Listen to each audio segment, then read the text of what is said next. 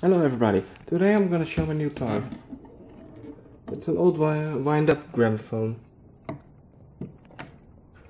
Um, this one is the brake, this is the speed control, it goes from 70 to 100 RPM.